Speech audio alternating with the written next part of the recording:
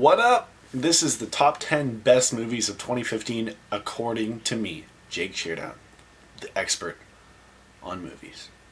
I found 2015 to be a really good year for movies. Um, a lot of people disagree. Um, a lot of the blockbusters kind of suck, but there are a few that were really, really good. Most of the independent ones were great. Um, I found that there was a lot of great movies. At the beginning of this year, I started taking a list for every movie that I saw and I saw any movie that I had any interest in seeing, and some movies that I didn't. Um, and I kept a tally of every movie, and every movie that was a 7 out of 10 or higher, I put on my list. Uh, and at the end of the year, I would come up with a top 10. And it's proven to be really difficult to that to do that because I have 32 movies on this list now that are 7 out of 10 or higher. Uh, because I take a great interest in any movie that comes out. Well, not any movie, unless it sucks. Uh, but any movie that I have an interest in, I'd go see. So um, let's get to it. I'm gonna begin with my honorable mentions because there's a lot, and there's there's too many that are that are good to just do to, to just talk about ten movies. So I'm gonna just read off my 20 through 11 uh, because most of them are probably good enough to be on a top 10 list, but they're just not on mine. Number 20, The Gift. Um, the Night Before. Number 18, The End of the Tour. This is the one that probably pained me the most to leave off the list. Uh, I couldn't ignore that the, that the technical quality of the movie isn't really that great. Number 17 is Kingsman The Secret Service. Number 16 is Spotlight because I can't deny that it's really good. I think it's a little bit overrated, but it's it's still really good. Number 15 is the Netflix film Beasts of No Nation. Number 14 is Star Wars The Force Awakens. I thought it was really good, uh, but not good enough to make my top 10, uh, unfortunately. Number 13 is The Martian. I have a very similar thing to say about The Martian. Number 12 is The Revenant. I gotta be honest, I thought that this movie would be on my top 10, but, um, I don't know. And number 11, the last movie did not make my top 10. It spent so much time on my top 10 this year, but uh, it was just edged out at the end. Uh, number 11 is Mad Max Fury Road. So, number 10 is Love and Mercy, which is the biopic of Brian Wilson of the Beach Boys. And it chronicles two different times in his life. Uh, one time when he's about, I don't know, 30, he's played by Paul Dano, who gives an amazing, amazing, amazing performance. Uh, just layered with vulnerability and complexity and honesty. It, it's amazing. It was, it was really heartbreaking too. And the other period that is displayed in this movie of Brian Wilson's life is acted by John Cusack, who acts with Elizabeth Banks. Uh, he plays an older and a little bit more disheveled version of Brian Wilson, and he falls in love with El Elizabeth Banks, and they have legit amazing romantic chemistry. It, it was really awesome to see, and this movie surprised me. I didn't think it would be that great, but the way they depicted the music of the Beach Boys, the way they depicted uh, the, the fragility of, of being an artist can be, um, I, I thought it was really, really great.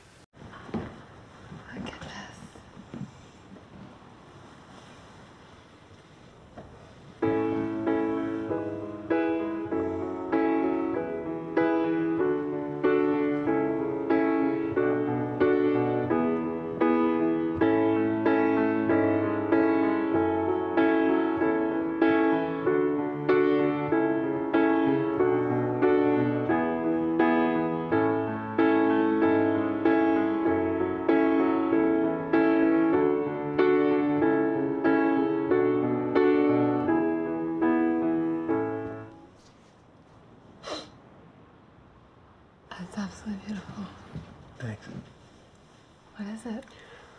Oh, that's just something that I came up when I saw you. What are you gonna do with it? Nothing. It's gone. That was just for you.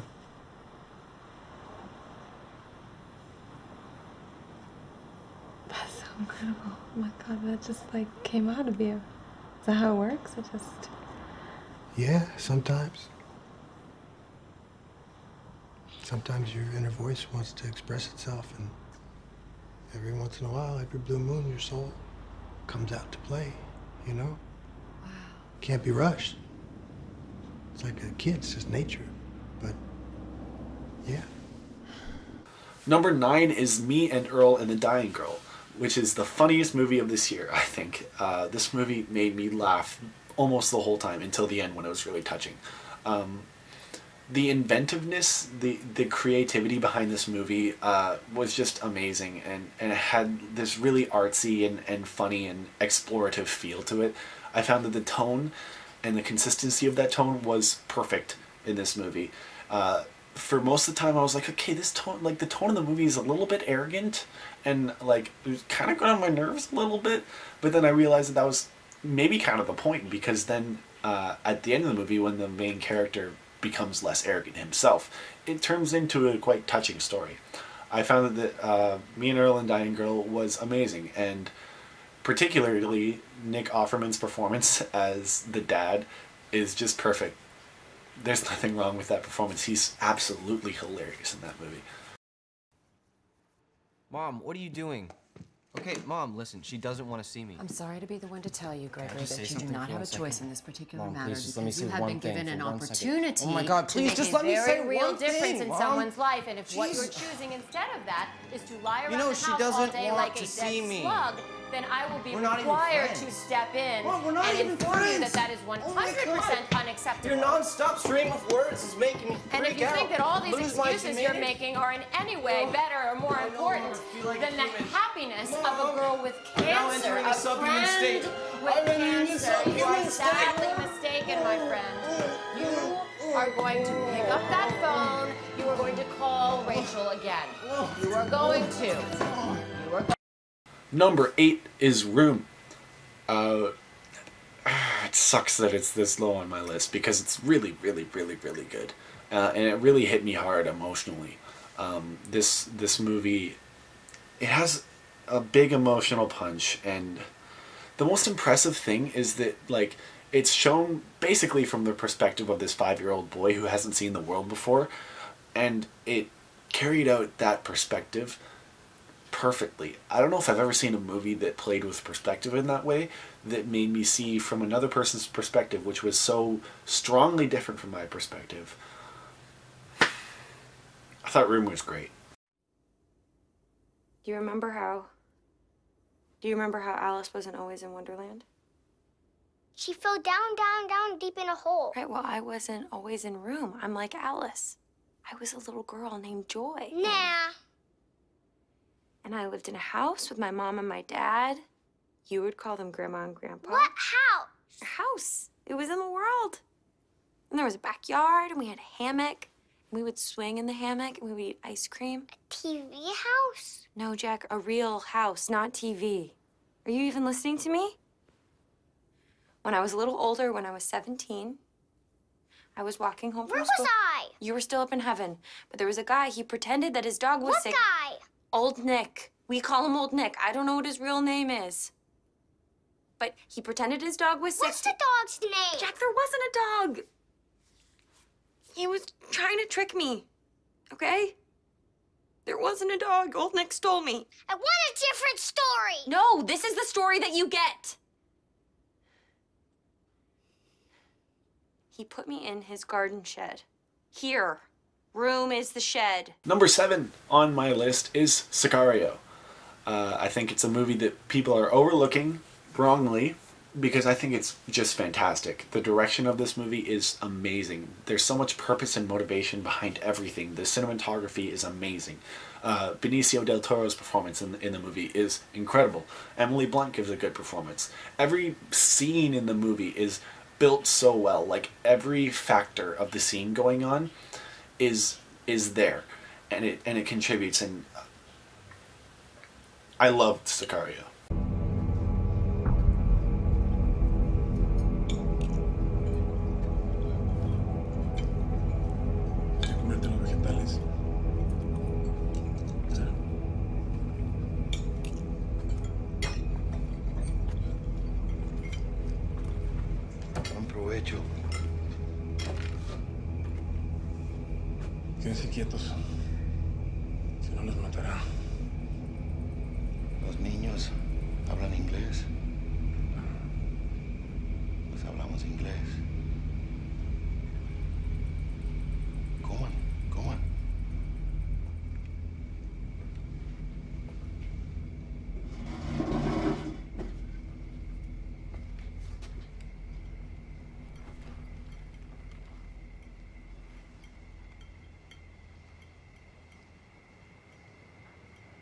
Every night you have families killed.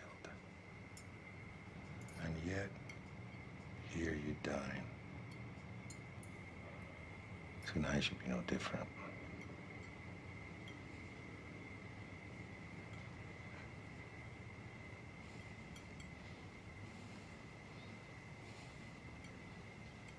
Come on. Come on.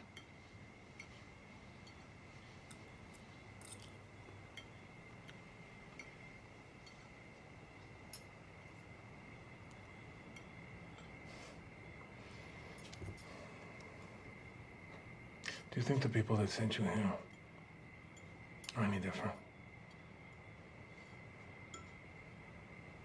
Who do you think we learned it from?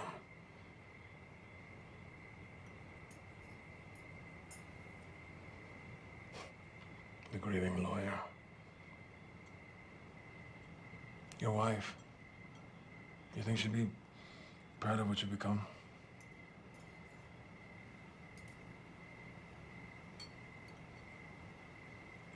Don't forget about my daughter.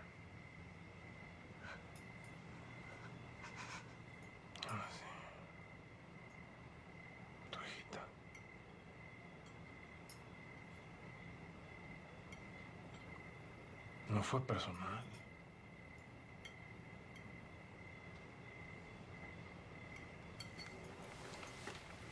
Para mí sí.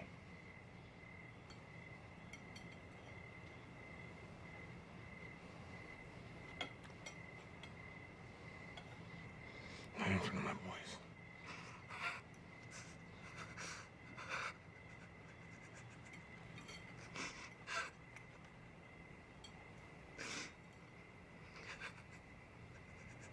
Ahora vas a conocer a Dios.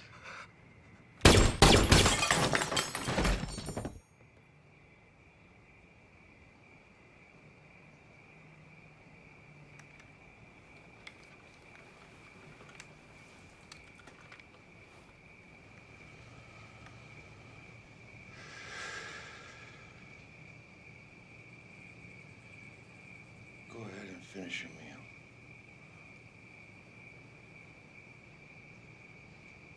Number six on my list is Carol, the movie about two women in the 1950s who fall in love. Uh, stars Rooney Mara, Cate Blanchett. Probably, maybe the best acting duo of the year. This movie had incredible acting and a, a great script, uh, tight, tight direction, uh, really great cinematography. Overall, like the general aesthetic of the movie is is, is really nice and succinct and together. Um, I was really impressed with the movie, and it was really touching in a lot of ways too. Uh, if you want more thoughts on that, I have a review up on my channel of Carol, which is about nine minutes long, where I just gush over how amazing the movie is. And your meals. Thank you. Thank you. Enjoy. I'm starved. Bon appetit.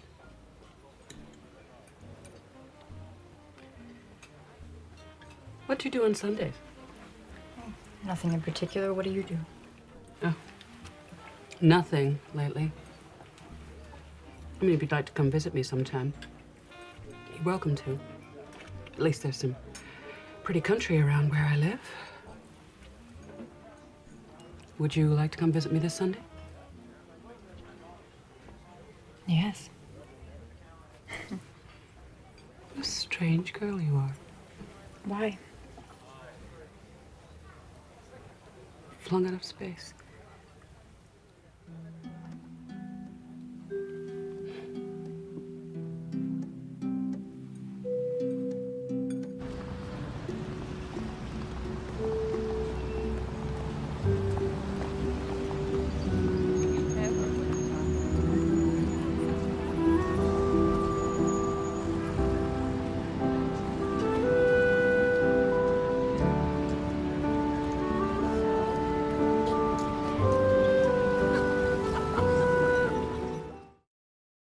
Number five is Inside Out. Uh, Inside Out is amazing. The script is so good. It's just so like fundamentally good. It's not a particularly flashy script in any way. There's not flashy dialogue where like, oh, that's Oscar dialogue, if you know what I mean. Uh, like it goes from next logical event, next logical event, and then gradually goes up the curve of of absurdity, intensity, all, all that stuff. Like the the stakes being built in as the movie goes along are are perfect and everything is earned in the movie. The script is so impressive and it's a really clever concept as well. Uh, the voice acting is great, and um, yeah, I cried. My name is Riley Anderson. I'm from Minnesota, and now I live here. And how about Minnesota? Can you tell us something about it? Well, you certainly get a lot more snow than we do. She's hilarious. yeah, it gets pretty cold. The lake freezes over, and that's when we play hockey. I'm on a great team. We're called the Prairie Dogs. My friend Meg plays forward, and my dad's a coach. Pretty much everyone in my family skates. It's kind of a family tradition. We go out on the lake almost every weekend. Or we did till I moved away. Hey, what gives? What? Hey, sadness, you touched a memory? We talked about this. Oh, yeah, I know. I'm sorry. Get back in your circle. What's going on? Get out of there, won't interject. We used to play tag and stuff. Cool Kids was spring at 3 o'clock. No. Did you see that? Look! Oh, They're judging us! Somebody help me! Grab that! Everybody put it... But everything's different now. Since we moved. Oh no, we're crying at school! What? Sadness, what are you doing? Oh, oh, I'm sorry. Hi. It's a core memory. But it's blue. no, wait! Stop it! No! Ah!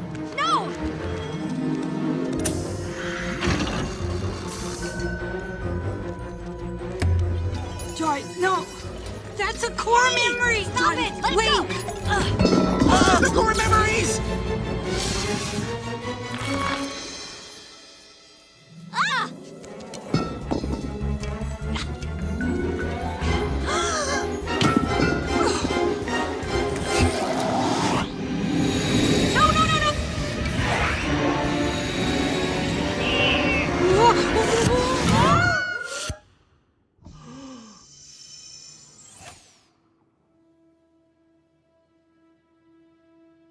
Thank you, Riley. I know it can be tough moving to a new place, but we're happy to have you here. All right, everyone, get out your history books and turn to chapter seven. Can I say that curse word now? Number four is Ex Machina. Uh, Ex Machina really, really, really, really is a great film. Um, I think that everyone needs to see it because not only is it a really awesome film, but it the theme of the movie is humanity and what it means to be human. And I think that's something that we should all think about. Like, not just think about like fundamentally like oh you need a beating heart, a couple of organs, you, need to breathe, but like the actual philosophy behind being a human.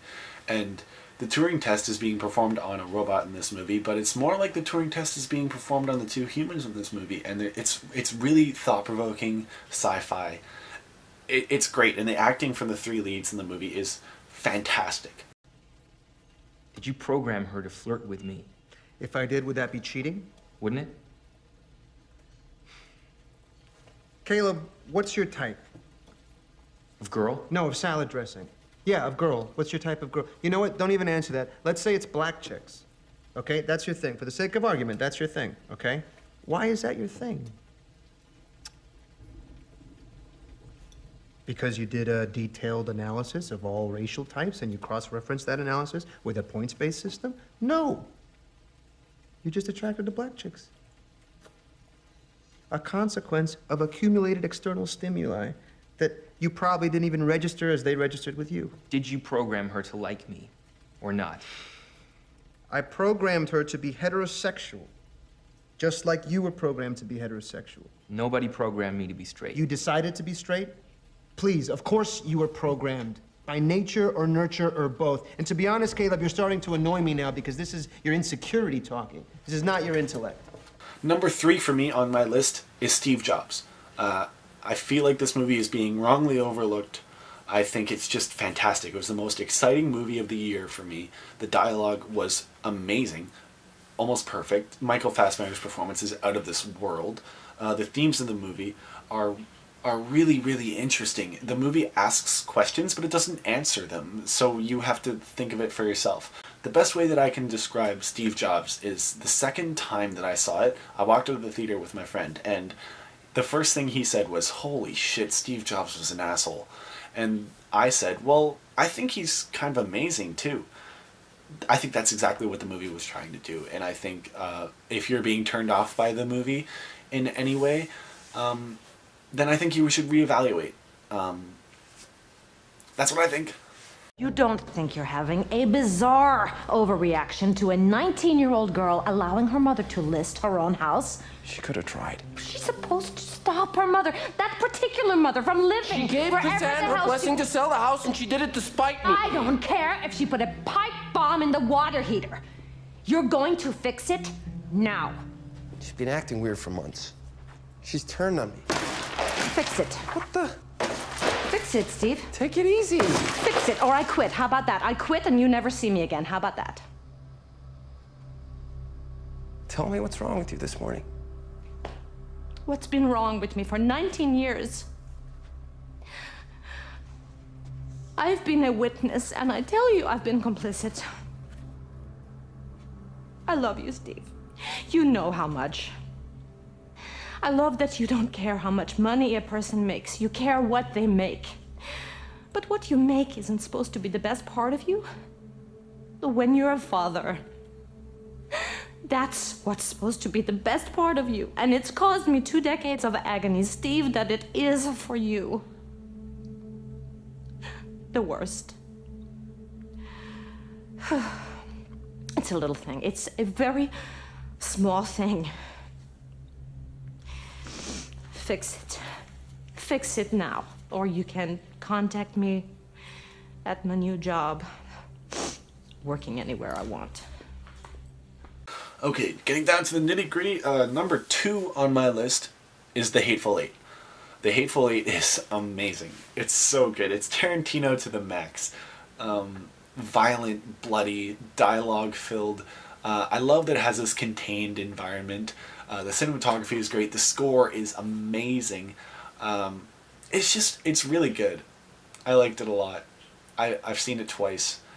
Um, yeah, it makes me smile just thinking about it. One of them fellas is not what he says he is. What is he? In cahoots with this one, that's what he is. One of them, maybe even two of them, is here to see Domergue goes free. Are you sure you ain't just being paranoid? Our best bet is this duplicitous fella ain't as cool a customer as Daisy here. He won't have the leather patience it takes to just sit here. He can't handle it. He'll stop waiting.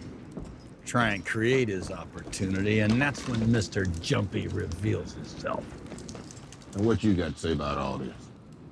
What I got to say about John Ruth's Ravens? Absolutely right. Me and one of them fellows is in cahoots. We're just waiting for everybody to go to sleep. That's what we're gonna kill you. Okay, moment of truth. The number one movie of 2015 without any debate whatsoever. Everyone can agree this is the best movie of 2015 no matter what. My number one movie of this year, predictably, is Anomalisa. Um, because it just. It wasn't even a competition, really. Anomalisa has so much to say about life, humanity, um, what it means to be alive, uh, how we relate to people, who we relate to. It's it's just such a well-rounded movie. Like the the script is of course amazing. It's this artsy movie that uh, looks at life in a very interesting and profound and creative way. But the technical elements are there too. Uh, the the technical component of the movie is amazing. I found the sound mix to be incredible. But uh, Tom Noonan is one of my favorite performances of a supporting actor this year. I was blown away by the work that he did uh, overall in this movie, voicing every character but the two leads. Um, Anomalisa is amazing. If you haven't seen it yet, uh, go out of your way to see it because you will you will really enjoy that you did. And if you didn't, then I think you have a wrong opinion. I make that joke too much. I, I make that joke with a straight face too much. Um, honestly, these are my opinions. If you agree with me, that's great. Uh, if you don't, then let's have a polite discussion about it where you don't call me names. Um, because uh, I'll cry if you do. Uh, I'll send you a video of me crying. I'll upload a video of me crying to YouTube. Um, that would be weird. That'd be strange. Be something to show my kids someday. Uh, look, I did this video where I just cried. My kid will be like, what an idiot my dad is. I'm gonna disown him and go live off in Hawaii by myself and become a famous surfer and make millions of dollars, which I won't share with you ever. So you'll have to just sit in your retirement home and watch Jerry Springer over and over. And while Jerry Springer is a really entertaining show and uh, like a guilty pleasure of yours, it just it won't fill you in the way that Jerry Springer used to.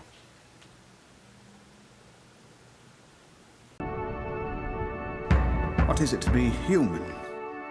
What is it to ache? What is it to be alive? Each person you speak to has had a day. Some of the days have been good, some bad.